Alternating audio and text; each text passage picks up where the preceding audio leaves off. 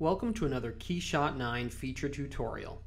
In this video, I'll show you how to use the new denoise feature to reduce noise in the real-time view and render output, helping you achieve smooth results in less time.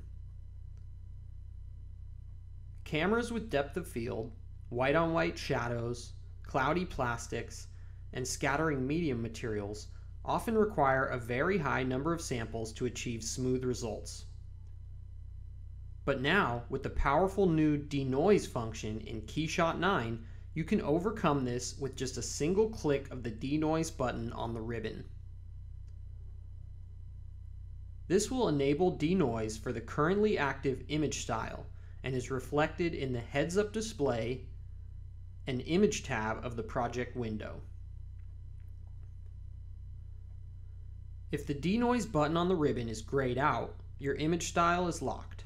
Simply unlock the image style to enable denoise.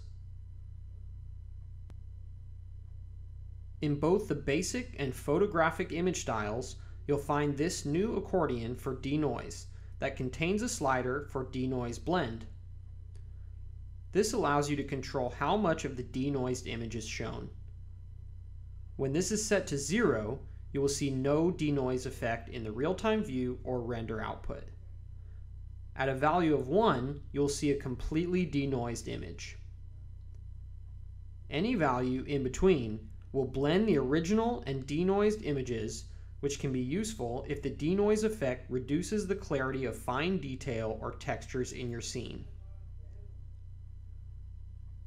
As the number of samples increases, and with each denoise refresh, the quality of the result will improve.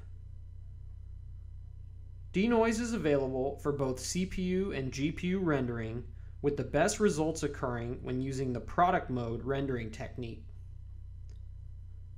When you're ready to render, simply render your job with denoise enabled using maximum samples or maximum time. Users of KeyShot Pro can enable the new RAW render pass to output the original image without any image style or denoise applied for maximum post-processing flexibility. Because denoise is a post-processing effect, it will not be displayed in the render output window until the job has completed.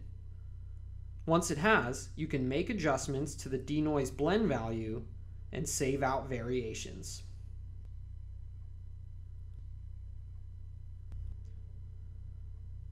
Denoise will also apply to multi-frame rendering such as animation, configurator, and KeyShot XR output, but keep in mind that this may create a very high RAM load. As a final item of note, you may notice slight differences in the real-time view and render output. This occurs because the render output takes advantage of the normal and diffuse passes to produce the best possible result.